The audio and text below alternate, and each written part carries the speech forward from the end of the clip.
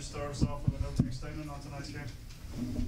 Uh, you know, kind of with not much time to prepare. Not sure if it would matter, but you know, Lincoln Memorial's really good, and uh, you know, they they got four really good players that all of them are difference makers on any team, but they would they would be unbelievable. You know, they're they're really good. Uh, they move the ball. They, they play well together. Um, they're just they're a tough team. So I thought, you know, hey, we started off, you know, first couple minutes, I was like, all right, and then you know they, they went on two, two, three, four huge runs, and you know they set the tone, and that was it, pretty much. I thought, you know, but I, you know, I thought our guys still played hard, you know, and kept playing, and that's all I could ask after, you know, they got up about 30 or whatever it was, but, um, you know, they they kept playing, and I, you know that that kind of, you know, that game doesn't sum up our season um, so that's that's the beauty of it. But yeah, LMU is really good, and that's why they're number one in the country.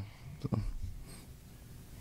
You know, obviously, you guys kind of talk about. I know it's close to the season just coming to an end, but talk about the season and what it was like for you to all go through it together.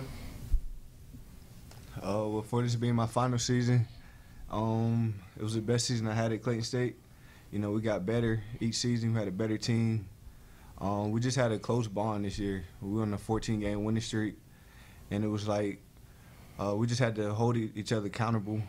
Uh, it's a family at Clayton State, and that's one of the biggest things that Coach Link preaches on. Like you got to stay together no matter what. Uh, just to piggyback off Ted, you know, each year we got better, and this year was the best year we had. It was all about doing whatever we can just to not just go to the championship. Like we always working hard, and this this is the best group of guys I had this year and they every time we touched the floor, we got each other better, and that, I love those guys. What does this do for the program though to make it back to the NCAA tournament for the first time in ten years? What does that do going forward? Uh, I mean, I, I, think now even in recruiting, it gets better. Um, you know, we're starting to name, make a name again. You know, from back when Gibbon, Coach Gibbons was here in like 07, 08, we're starting to you know get you know different difference makers and that started with these guys being the seniors you know to, to end that after having them for three years. But um, you know us returning on paper four starters um, and and and you know bringing in going to bring in obviously even better players and, and get better at, at a, so we can compete at a high level. So it's going to be really good for our program obviously so you guys say to some some of the new recruits coming in, the guys that are coming back next year? What would you say to them, you know, coming off this season and heading into next season? Um, when you come to Clayton State, is a reason you come here. You gotta understand, we were the number one team in the conference. So next year y'all have to act like y'all the number one team. You're gonna have a target on your back. People gonna want to beat you, not just a conference, but conference, but we were number four in the region. We belonged here. So teams, when teams see us on their schedule, they're gonna want to come at us. So you have to work off season, and when it comes to the season, you have to show the reason why you're here.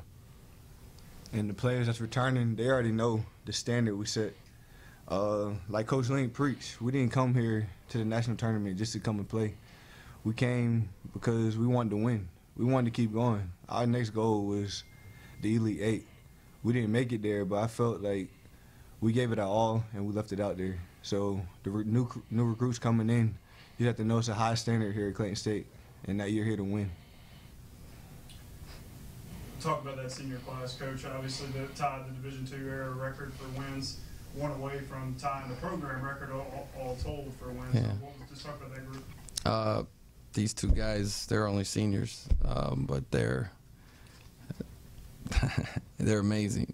Um, you know, he I got to coach him. I got got here. He was a sophomore year, and I got three years with him. And he like this year, you know, he was the most selfless person. He was a thousand point scorer. I brought him. I brought him to the bench. He never one time. He could have said to me, "Hey, coach, I, am a senior. I, I want to start."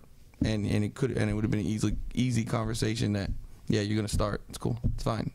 And he never said that, you know, because he knew how special we could be before we ever went on a run and on a 14 game winning streak before that and he didn't do that and he came off the bench as a senior four year starter three year starter as a senior and that's where i thought and him coming off the bench we just got better and we were a better team because of it. And then him, uh, Nate, came with me from Paine. He transferred with me, and he was a role playing point guard that ended up becoming an all conference first team player. He was unbelievable. He had almost triple doubles, like three or four games in a row, almost. And um, you know, and then leadership wise, they're the best leaders I've ever had. Um, there's not even a question. I'm not even just saying this because I'm in front of them. They're the best leaders I've ever had, and they're special. And I told those guys in there, and they know it. Those players actually played harder, I think, for their teammates, and that was what was really cool.